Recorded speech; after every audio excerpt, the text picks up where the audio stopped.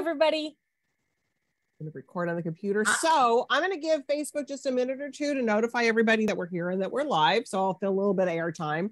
Um, that reminded me, I've got to do one other quick thing.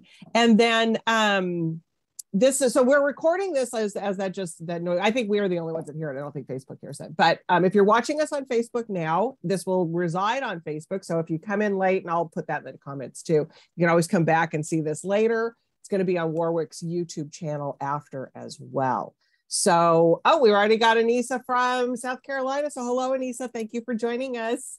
Um it's so much fun. I love these live events and it's just even you know it was rachel i think you were with us like in year one i think. Oh yeah. to, yeah. I've been around for you've a been, while but you have been doing this with job. us it's it's so fun and it's been so much fun um and i'm still going to continue doing we're back to doing live events at warwick's for yes. those of you joining us we are in, located in san diego uh, la jolla california um so if you're in the area, we'd love for you to stop by the store. But even though we're doing live events now, I still like the virtual stuff because it would be really hard, Lynda, to get you and Rachel out to La Jolla. I know to try to, yeah, to yeah. try to manage it. Oh. Yeah. I was telling so, Julie that actually last year, last February, I went to La Jolla. It was the first trip that I had taken since the pandemic.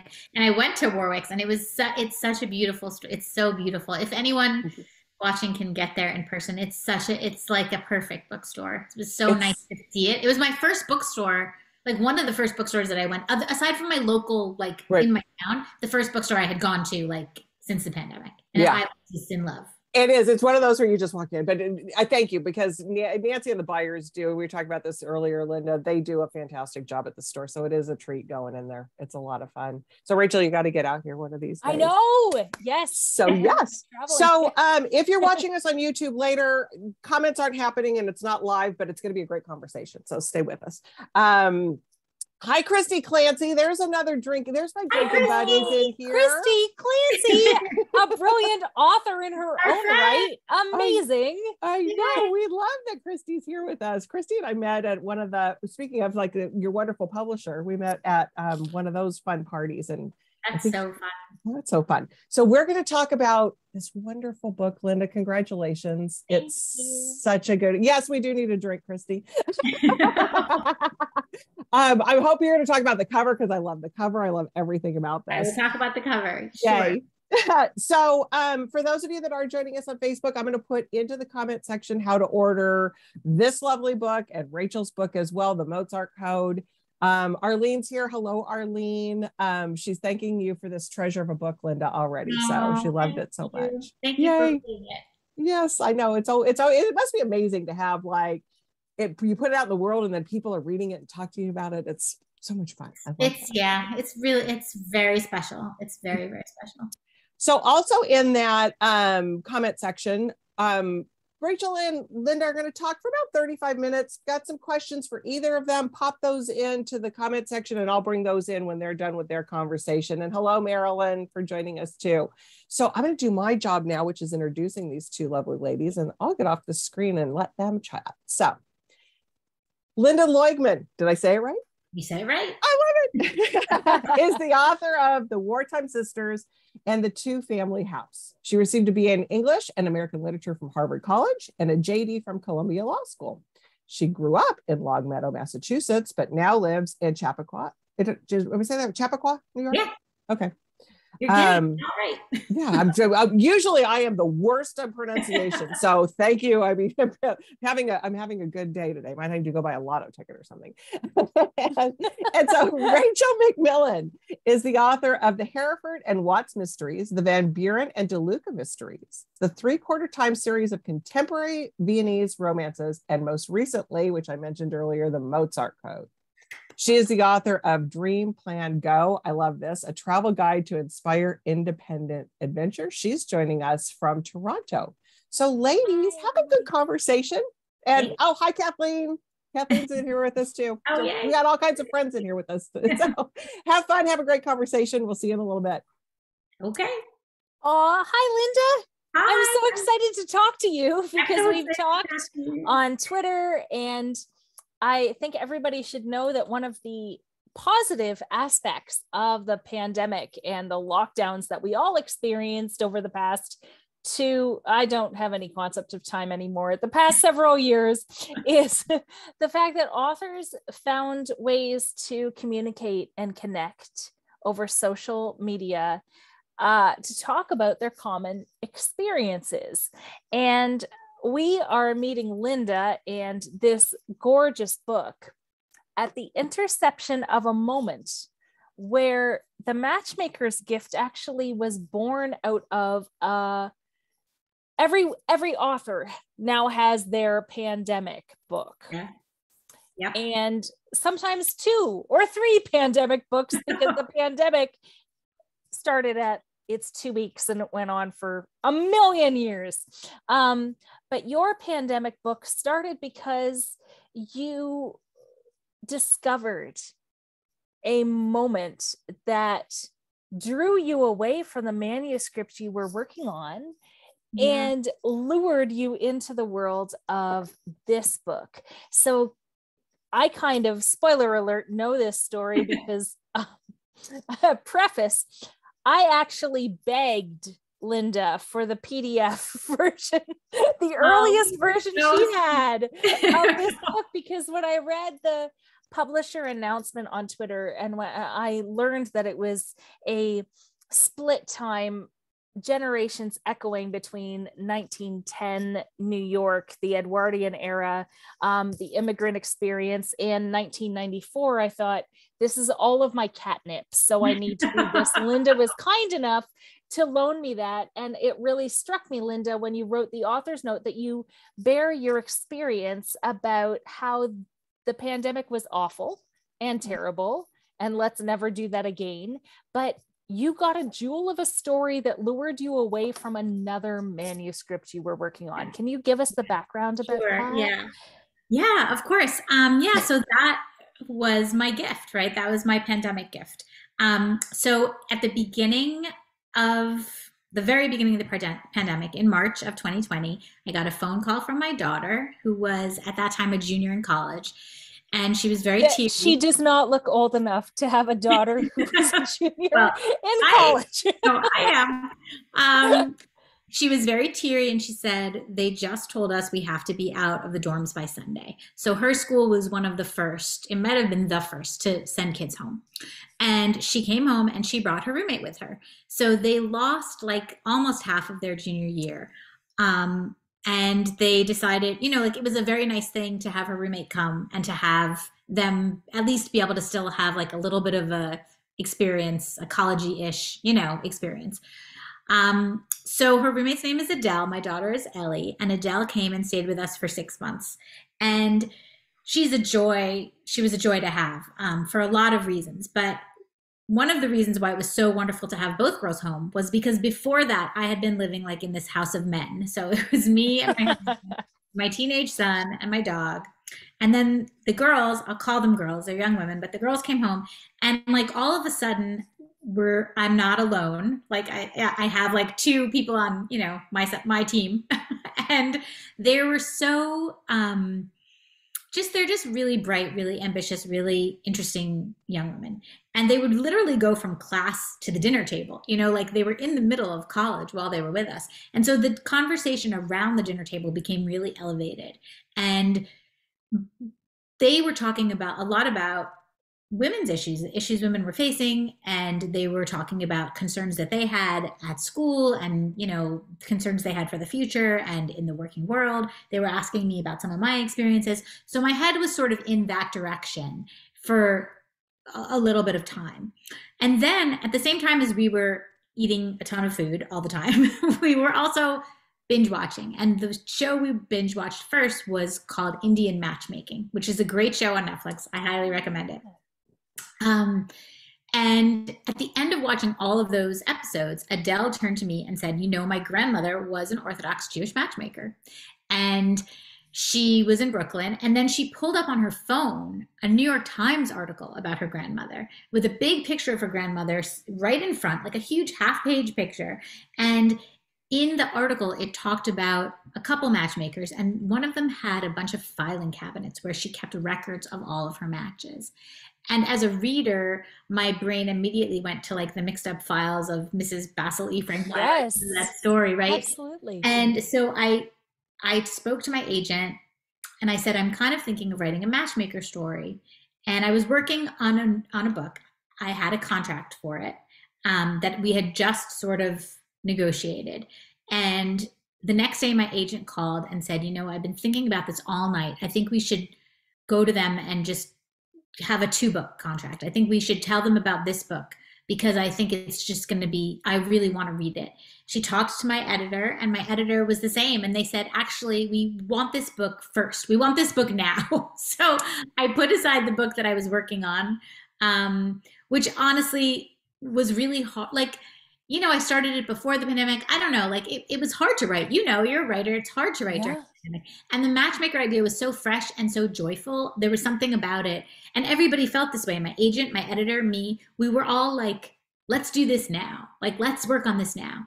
But the problem was, of course, that it's if I if any of us thinks about a book about matchmakers, you think romance, and I'm a historical fiction writer. So I had to come at it from a historical point of view. So that was the first kind of, you know, the first thing, the first hurdle was yeah. What time period am I looking at? Where, when am I going to set this? What, what are we looking at? I knew I wanted it to be a dual timeline story. Um, and so, of course, I had to pick the grandmother's timeline first because that would fix when the granddaughter's timeline would be so that was that was the first tough choice that i had to make and it it's amazing because i love and for those of you who are not familiar with the publishing industry often you're locked into a concept or a hook several mm-hmm. years before the book actually comes out and yeah. so as a writer when you pursue traditional publishing to get beautiful books like this you're not at the whim of a muse or an artistic sense all the time. You do as much as you can within the limitations of mm. needing to work with a publishing schedule. So the fact that this story blasted through is one of those kismet fate moments that you found joy within this prospect, and so many others did as well. But what I am especially interested in is the fact that this is not so much a departure from the wartime sisters and the two family house your previous novels because you have already set up this world wherein your major motif is the forge of community and the cultivation of interaction.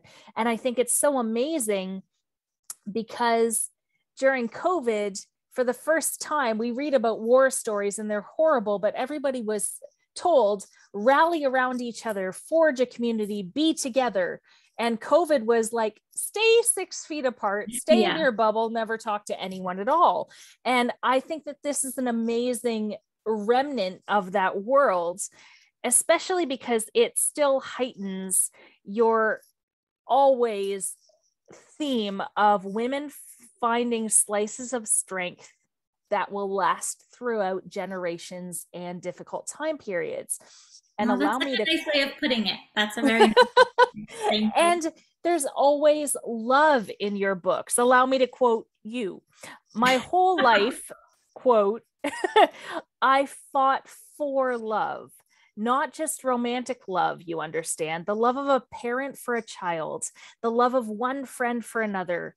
Fight for something, sweetheart, not just against. That's the best advice I can give you. And if you can't decide what you want to fight for, love is as good a cause as any. And for anyone who lived, and we all did, through the past two and a half years of one exceptional hurdle of horror horror over another often the concept of fighting is attributed to violence or a rebellion or pushing back against something. You set up a world where in the two different time periods she spoke of we have a woman who is a matchmaker who has a sixth sense that people are supposed to be together, and her granddaughter, who is a divorce lawyer, who has experienced the backlash of love. And you find the grace within these two different time periods to speak that love is its own war in a gentle and kind way.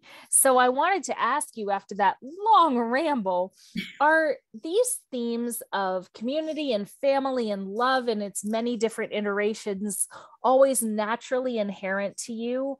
Or do you ensure that they're sewn into each book?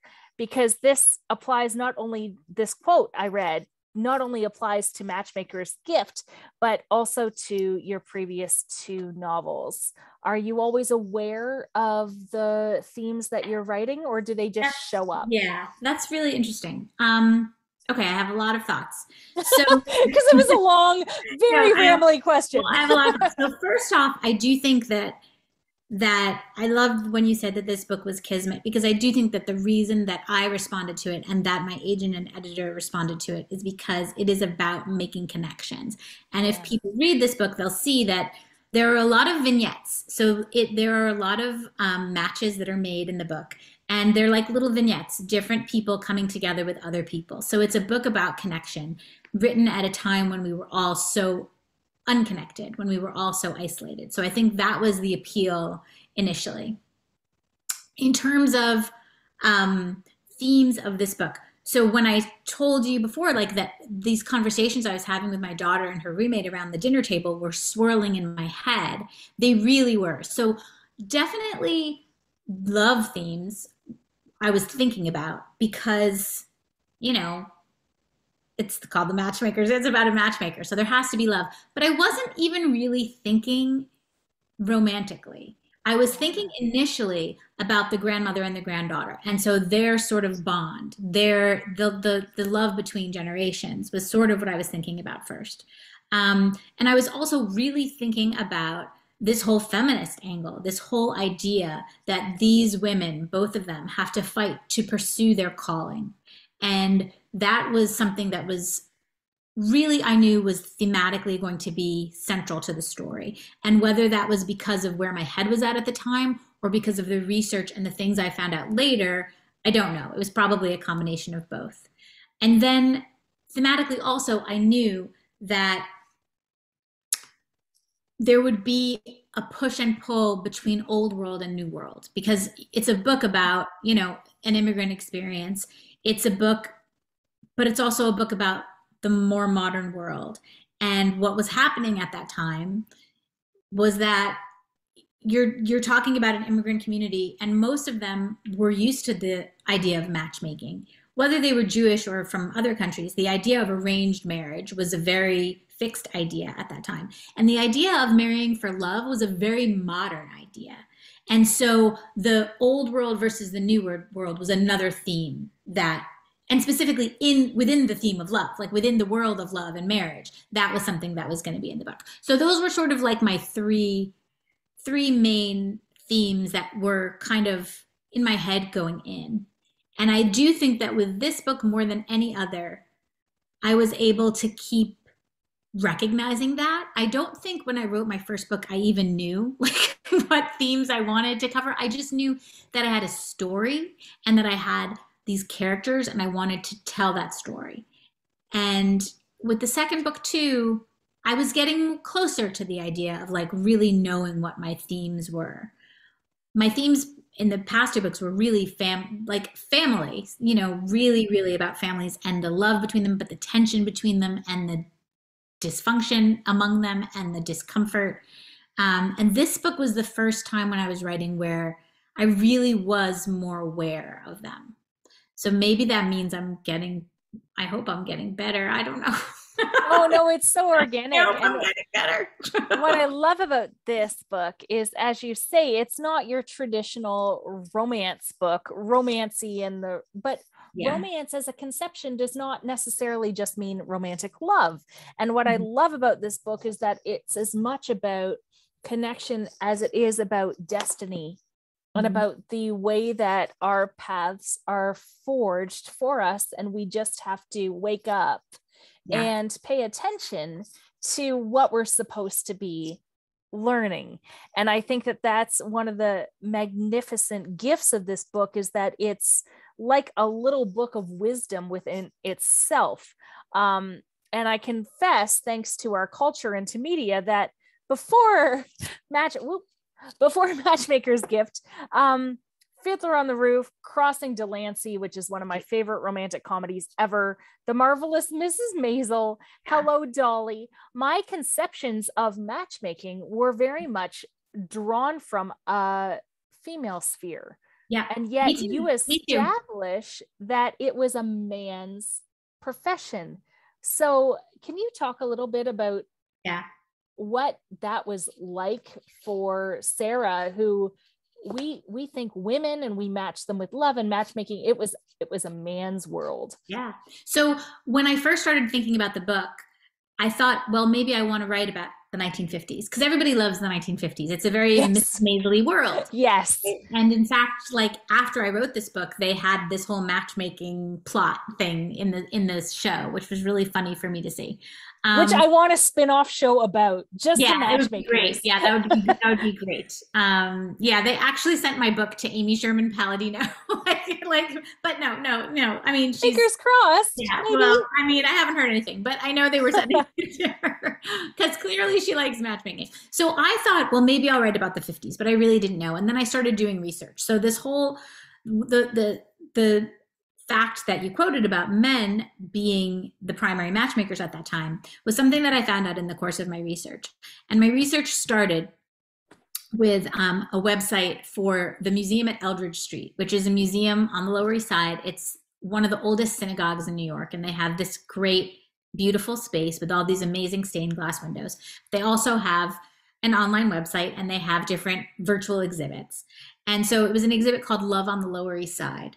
And Love on the Lower East Side referenced a wedding, the wedding of an immigrant, Ethel Karp. Her father was um, a Romanian immigrant. He owned a bunch of pickle stores in the city and a bunch of cucumber farms on Long Island. And they called him the pickle millionaire. And the New York Times wrote about the wedding. And they said um, the scent of orange blossoms and roses mingled with the odor of dried herring and pickles um, which is just like you know a feast for the senses.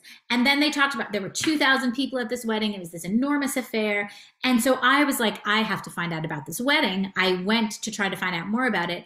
And in the course of that research, I found other New York Times articles about matchmakers. Um, and there was one specific statistic that was quoted that said this was an article in 1910 and it said there are over 5000 professional matchmakers in the city and the bulk of them are men.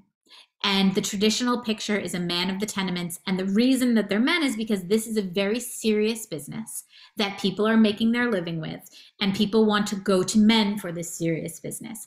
And so when i read that immediately it solved a lot of issues for me because I knew, okay, well, number one, now I know my time period because I'm not going to write about the 50s. This period is too rich, it's too perfect. I want to write about this period.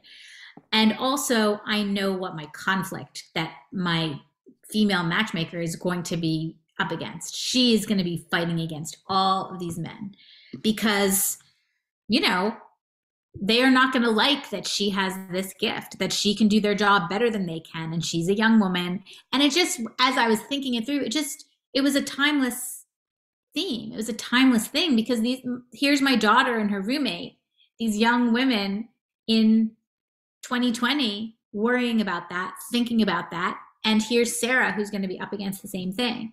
Um, so it just, it felt timeless to me. It felt relevant to me. And I knew that that's what it was going to be. So that's how it kind of developed. I love it. And honestly, as a hopelessly and helplessly romantic person, sometimes I would love a matchmaker. And I yeah, really like, come on, set me up with someone. But I also love that the immigrant experience in the 1910s when so many people were coming from so many parts of the world, community and establishing a center of a neighborhood was mm. so essential to thriving and keeping traditions alive. And you can see why matchmaking was so integral to an experience because you wanted to cultivate community. You wanted people to find each other with the same values so that they could continue the traditions that were coming from another place, like a mm. patchwork quilt that New York is now. I just loved it so, so much. And besides the fact that I think a lot of us are now learning that men were the matchmakers haha um, how did that turn out? Um, was there anything else you that surprised you in your research about i'm sure there were many things but was there something that stood out in your research about this time period or matchmaking that made you go oh my gosh i can't even imagine i mean so that was that first thing was really shocking to me it was shocking just in my research that the new york times was writing articles in 1910 with yiddish words in them and like and that the New York Times was talking about the shadchanim, like the Yiddish word for matchmaker. That was really surprising to me. I just thought that was, I don't know, I just didn't think that the immigrant experience on the Lower East Side at that time was anything that any reporter at the New York Times would even be the slightest bit aware of, you know? That would it stretch beyond community. Yeah, that it would have gone beyond and, yeah. that neighborhood or beyond the Yiddish newspapers that were printed daily. That was a really interesting thing. Um, there were just a lot of fun like things that I learned that weren't necessarily surprising, but just really fun. I learned about the Knish War of 1916, which was a really fun tidbit where there were these two competing Knish shops um, across the street from each other, and they started like this war. And one said like, "I'll sell you a Knish for five cents," so the other one did four cents, and then one like brought in a band, and then the other one started like you got a coupon for how many knishes you ate, and if you ate like 20, you got a pen knife, a pocket knife, or something. So there were fun things like that.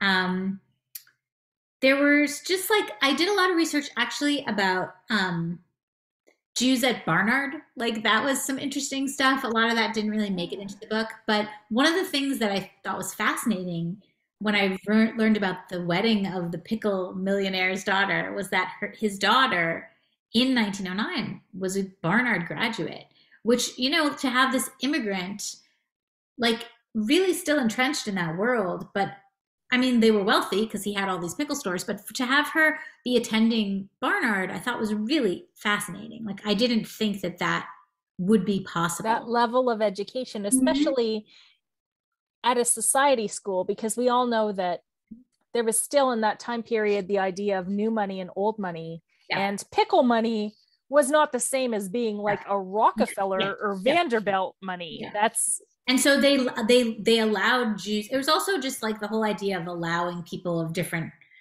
you know, religions and races and different things yeah. to go to a school like that. So there were Jews at there were a few Jewish women at Barnard, but and there were a few like this young woman who were, you know, not even born here or born, you know, their parents weren't born here, but they generally liked the kinds of immigrant people who were a couple generations out, you know, who didn't have accents anymore. You know, that was what the preference was. But um, so that was surprising. And then I don't know, there were just a lot of fun things that that just all those tidbits, you know, when you do research and you learn all of the it's like the lighter tidbits that always are fun. You know, yes. like um I find certain research to be really difficult. Like World War II research is really intense and you cannot get it wrong. Like there is no room for error. You know, people will be very upset and people take it very seriously.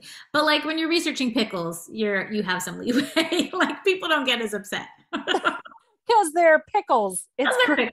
That's great. And I have a whole I'm just cognizant of time because I oh, really sure. do want to get to our um our you know other reader questions, but Sure. I, I do really want to talk. Do you know what? I'm going to talk about this next. Um, okay.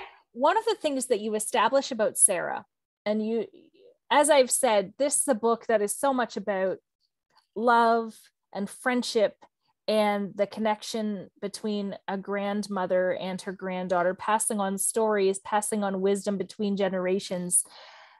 I love the image of a beam of light passing from a man to a woman, which is how Sarah identifies a potential or prospective match. but you always ensure that the entire book stretches beyond the realm of just romance not just i love romantic love i'm a romance writer but also romantic love and you do so in a way that forces us to also realize through abby who is a divorce lawyer that love is far more than a transactional thing. And i love that you pit Sarah's experience about having to fight for love, given the fact that it's a very male dominated profession, to Abby, who is experiencing her parents' divorce and experiencing the hurt that love has caused her, there's still always that beam of light. How, oh, like I could talk to you for like three hours. But how did you decide to counterbalance love with divorce and marriages that may not have always been a love match in history, but a transactional one? In what point were you able to just like put your personality in there and just think, this is this is what I believe. Yeah, we need to I mean, fight for love. Yeah, I think well, when I figured out that Abby would be a divorce a divorce attorney, that was like a great moment. I remember I was in the shower, and I was because it's where know, all the ideas come for everybody. the shower, if I'm walking my dog. So I was in the shower. I was still like thinking this through. I was planning it out, and I was like, okay, the daughter, the granddaughter has to be cynical. She's going to be really cynical about love. I know that. I know that she's going to inherit this gift, but I know that she's not going to believe it. She's not going to necessarily believe her grandmother's stories. She's going to be skeptical about it. And then it just like hit me, and I was like, she's a divorce lawyer. like, of course she is. And her mother will have gone through this terrible divorce. And it will be kind of hard for Sarah because Sarah won't be able, there will be some blockage with Sarah. She won't be able to find a match for her own children because, like, her gift has to has a have has to have that limit right? So she won't be able to find her own match or matches for her children. That's what I figured.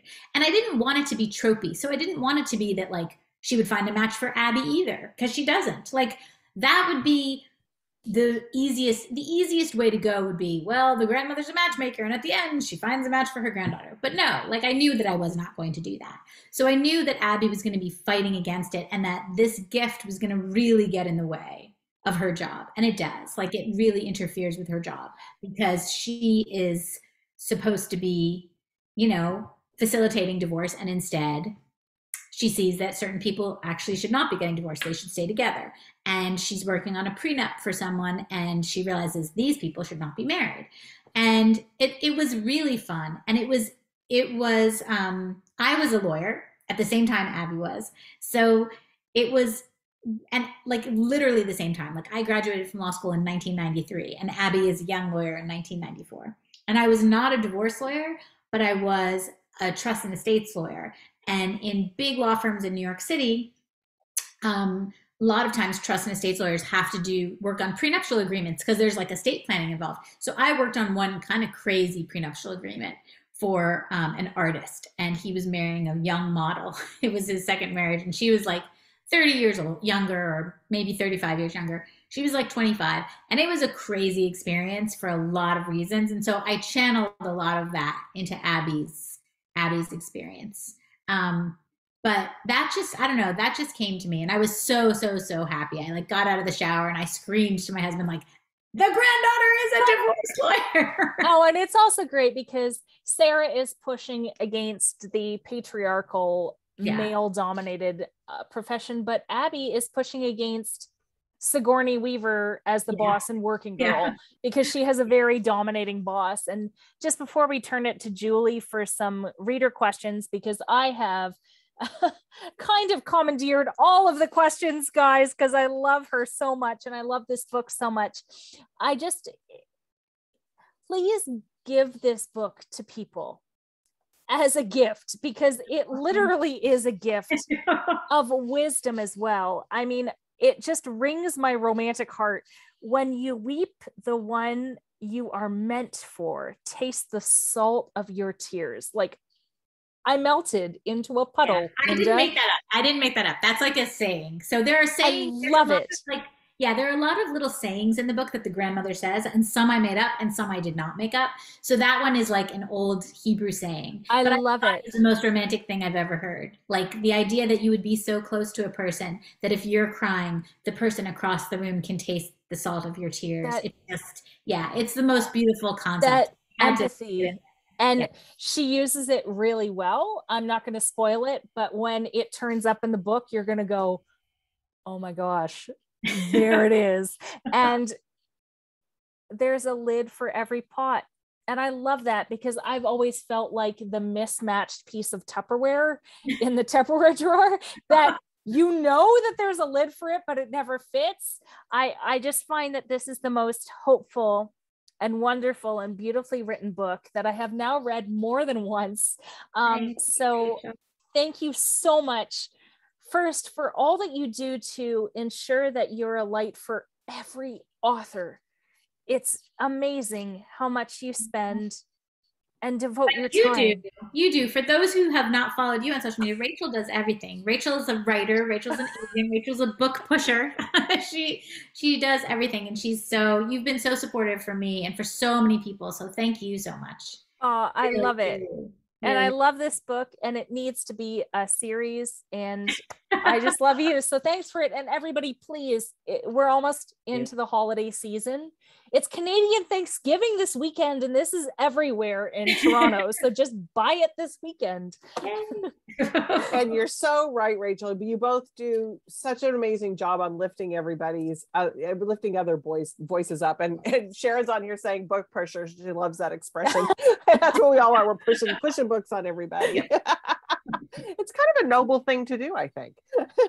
it's a fun something. thing. You know, yeah. You might as right. well push books. right. And Rachel, I'm so glad that you also mentioned the Salt Tears quote because that is just the best. It's the best. and it's perfectly placed. Perfectly As a writer placed. and a reader, I can tell you that when it comes up, you're gonna get shivers. Well, so and that's good. what well, Annabelle, Annabelle's on here. You've got some great comments um in the section here. Annabelle does say she loves um the gifts, the way the gifts get in the way it doesn't solve all of everybody's problems and she says this is just such a crazy smart book the way it was put together and thought through and i concur definitely and let's see uh, is on here one of the the it, this goes back because sometimes people are, are throwing in their comments when um, you all are talking um, but one of them is from Anissa is the heart is big enough to hold both grief and love. That was one of her favorite quotes. That one I made up. okay. Well, it's a oh, really good so one. smart. I made up. Yeah. That's a really good one. Okay. So um our lead, so we are going to talk about this beautiful cover. Um, I have a prop to talk about the cover. You do? Yeah. Do you want me to show you? Yes. Do you want me to talk about it? Should I talk about it? Oh, okay. So her question is, I'll okay. tell you her question first and then we'll talk about it. So okay. she said, the cover is so beautiful. How many iterations of the cover were there before you selected this? and what input did you have into the cover design so now let's roll with it okay so i had a lot of input in this cover which is very unusual and has never happened to me before so my i told my editor that i had a lot of thoughts about this cover and she made a google doc for and said put in your inspirations and so the thing that i immediately thought of was i wanted it to look like a ketubah so a ketubah is a jewish a marriage contract so when you get married. I brought my ketubah. That's my prop. Okay, I took it from my wall. This is my ketubah. so it's a marriage contract, and wow. it's they are always like highly decorated, and they're often like floral in design. Actually, because of Instagram, there are so many beautiful like ketubah accounts. There's one called Tallulah's Ketubahs, and they're beautiful.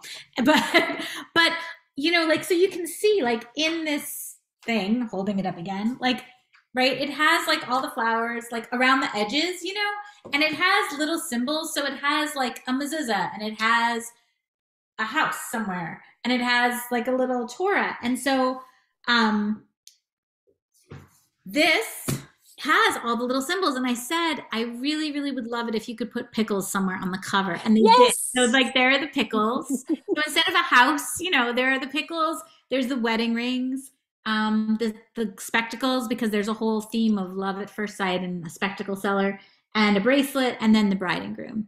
So they sent this to me and it was almost exactly like this when they first sent it. Wow. The only and Michael Storrings is the cover designer, by the way. And you may have some of his puzzles because he has he does he's a beautiful illustrator and he has gorgeous puzzles that are out. And during the pandemic, I actually did one of his puzzles, and then he was the cover designer for my book. So it was really felt like very special. Um, the ring, the only changes were the rings at first. There was like a very blingy engagement ring, and mm. I felt like that was a little too romancy. And then the bride and groom got changed a little bit because I don't. They were just different looking. That the whatever it was. I actually was a little worried about the bride and groom because I was like, I didn't want it to look too romancy. So I was like, can you take away the bride and groom? And but they really loved the bride and groom, so that was a compromise. And it's not like a surprise to have a bride and groom on right. a book, so it was fine. Um, but I love the pickles, and also I don't know if anybody read the book The Muse um, by Jessie Burton. That had a cover with like a typewriter. A really good. Yes. yes it had all these different little, and it had like a little gun and a little perfume atomizer and like yes. different things. And so that was a thing cover that I was thinking about too. And I sent, I put that in my little inspiration document. So that's how the cover. and your blouses and shirts often so I, match I the cover. Yeah, I bought when you're doing events. For all the Zooms. I was like, well, I have to dress appropriately. it's perfect. It's perfect. I tried. I tried. So this is my question, and, and I apologize if you because I was in the background doing some of the stuff on Zoom, and I might might have missed this, but Rachel, if you already asked this, did you specifically pick the for the modern part the '90s because there were no cell phones? so a little. I mean, yes, it made me feel better about writing that, but it really kind of followed from from how old Sarah was, right? Like I could only I couldn't push it too right. far. Right. And um and also in 1994, Prince Charles and Princess Diana announced that was like when their divorce was like first right. announced. And that was like because I was what I was doing was I was like, all right, she's gonna be a celebrity divorce attorney what are the big celebrity divorces?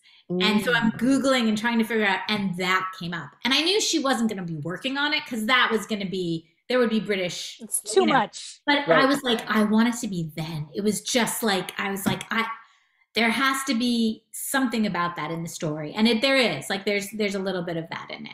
Um, there's a mention of it. And, right. and just like I remembered, as I'm sure you, I, I would think that you guys both felt this way too. Like, I remember when they got married. I remember getting up really early in the morning with my mom and watching that wedding on TV. And um, there's a scene of that in the in the book too, because oh, yeah. that was, you know, like a really important wedding. oh yeah, I was I was actually in London oh, I think wow. May before they got married. So I have like I was like obsessed. Okay. Yeah. I have like the Charles and Di glass. I mean you have the mug. okay. I mean it's like, yeah. yeah.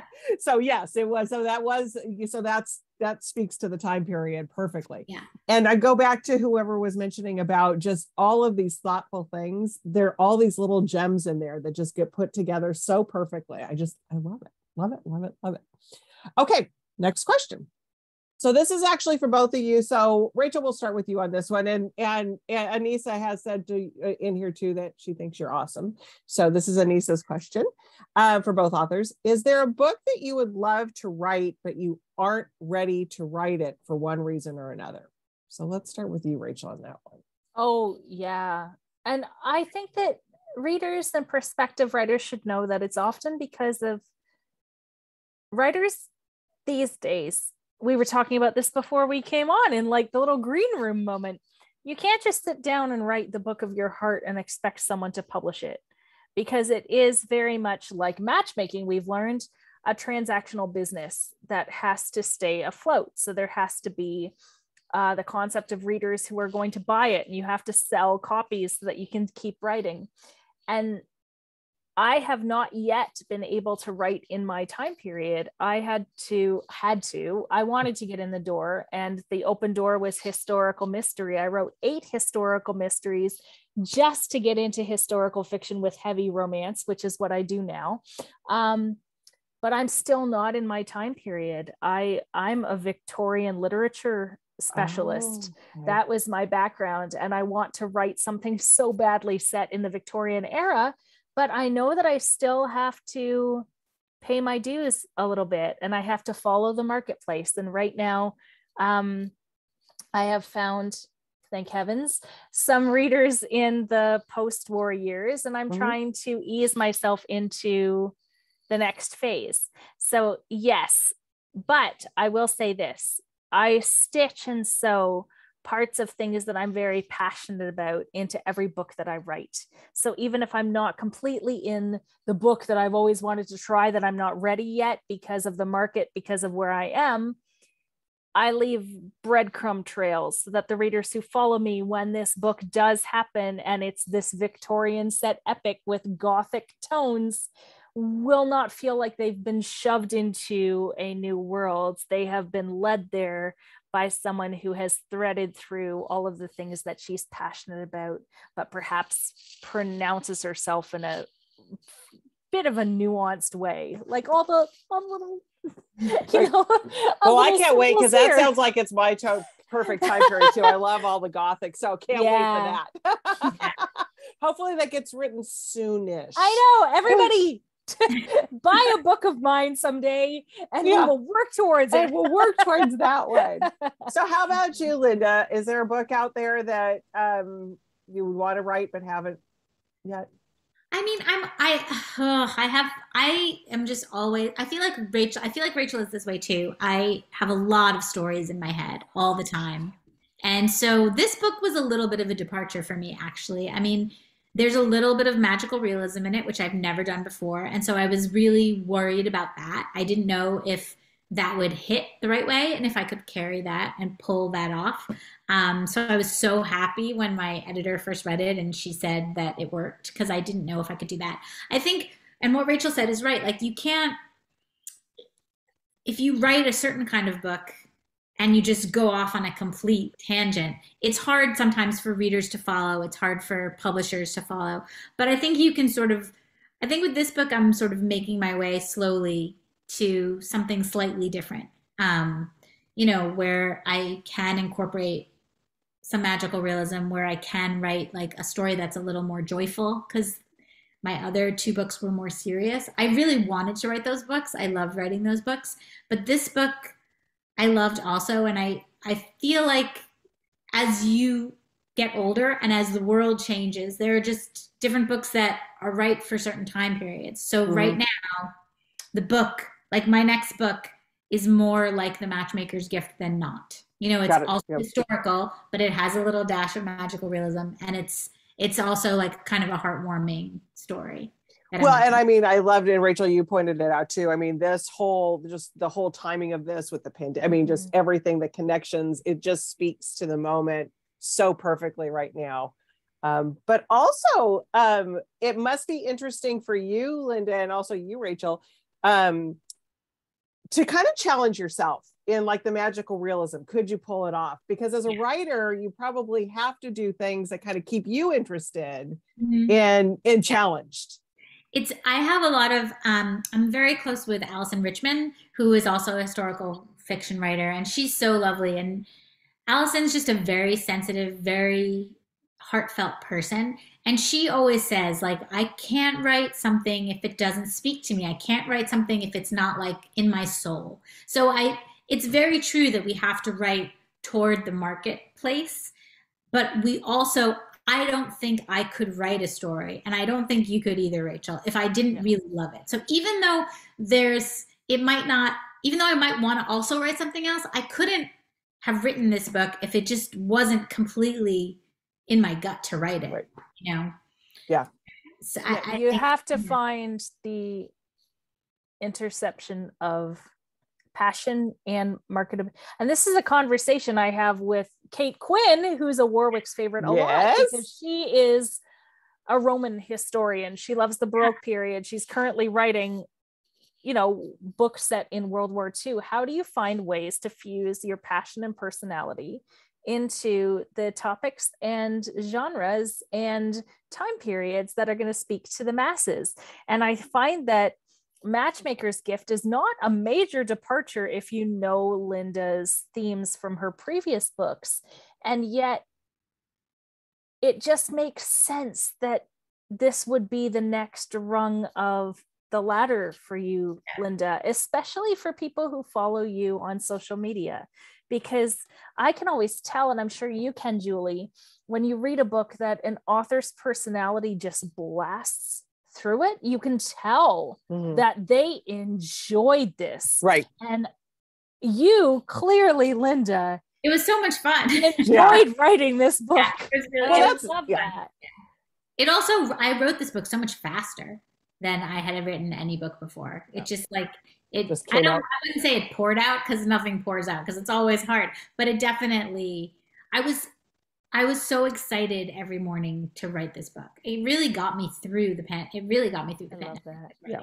Really well, and I mean, I've heard authors say that if you aren't having fun and interested, your readers probably aren't either. You know, so I mean, I think that's a really key thing that it's like you you you have to. It has to speak to you before we've all read those books. Oh yes, we have. Do I have to be here? You didn't want to be here. You didn't want to be here right Why now. is anyone here? and that's that hundred page where you go, okay, we're gonna put that one aside now. well, sometimes somebody has a really good idea for a book, but having an idea for a book doesn't mean that it's going to be a good book, even if it's a good idea. Correct. Like it might have been a really good short story, or it might have been a really good essay, or a poem, but maybe not a whole novel. A like, whole novel. Yeah. It just doesn't work. Because you, you, can feel that in that, I always call it the middle slump. Yeah. You can feel that at about that 150. It's yeah. just like, oh, where are we going here now? Yeah. Which is where it usually gets over edited because everyone's trying to band aid up the gaping right. wounds of this. book yep. that no one wanted to write. Yeah. And it's like, and okay, now we see where.